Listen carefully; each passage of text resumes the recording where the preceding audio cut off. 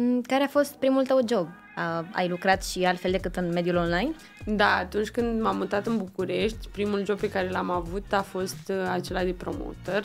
Am învățat foarte multe lucruri și cred că a fost punctul care m-a făcut să-mi doresc să devin creator de conținut, pentru că mergeam la foarte multe evenimente, uh, promovam produsele, aveam sucuri și băuturi alcoolice la momentul ăla, pentru că era fix la evenimentele de seară și erau uh, petreceri din astea cu influenceri, oameni pe care eu îi știam din, din online. Am văzut-o atunci pe Laura Giurcanu, pe Nadhu am văzut-o la un eveniment și uite că acum ne-am și împrietenit, pe Sânziana Negru, le-am văzut, le vedeam că sunt în mediile astea foarte frumoase, ele erau uh, invitate acolo, eu lucram cumva și îmi doream, îmi doream să ajung cumva să fac, uh, să fac același lucru.